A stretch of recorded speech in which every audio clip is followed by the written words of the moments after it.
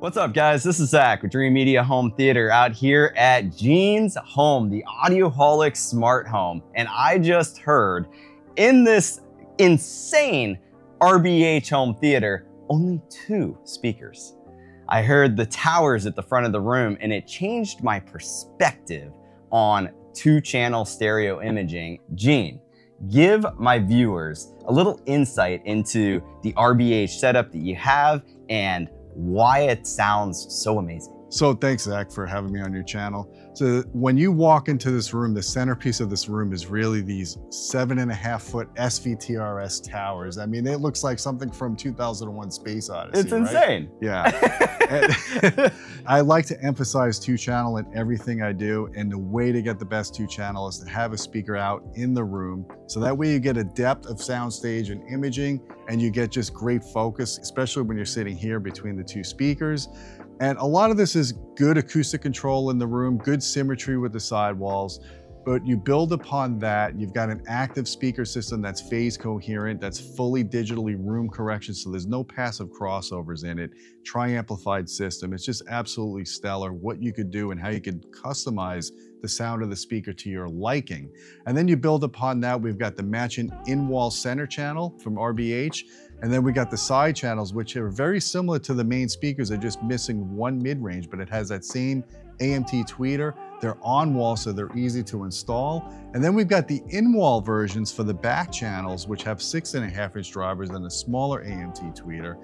And then to finish off at the height levels, we've got six Atmos speakers from RBH in ceiling speakers. I chose four for regular conventional Atmos, and then I added two more in front wider apart, but they're angled baffles, so they fire at the listening area. And I actually configured them as wide channels as a joke, and I like the way it sounded. Everybody that's listened to it, when you added those wide channels, they just sound stellar. So I'm kind of leaving it at that point. I do have the option to add more speakers for wide channels if I want down the road. Of course, now we're implementing this new 21 I was about to sub. say, yeah, you almost forgot about the 21. How could you forget? You can't miss it when you walk in.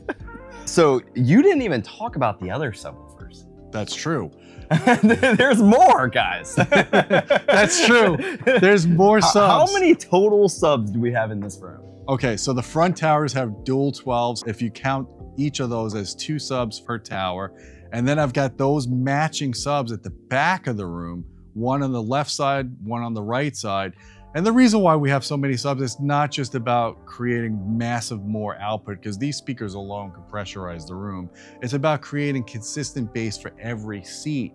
That way, when you apply equalization, it works for all the seats and you get very consistent results. So whether you're sitting in this seat, that seat, even the mother-in-law seat in the back, you're gonna get a good experience with bass. This is a serious reference level home theater setup and a killer two channel hi-fi setup as well. Dreamedia is honored to be here in your home and also to offer RBH nationwide. I cannot wait to integrate this into customers' homes to deliver this level of experience. In just a moment, we're gonna fire up a demo for you guys, but if you would like to purchase anything home theater related, be sure to reach out today for a free video consultation with one of our specialists. We're nationwide and we would love the opportunity to earn your business. If you like this video, give us a big thumbs up and make sure to smash that subscribe button down below for more. Till next time, this is Zach with Dreamedia and Gene with Audioholics. Thanks for watching. Keep listening.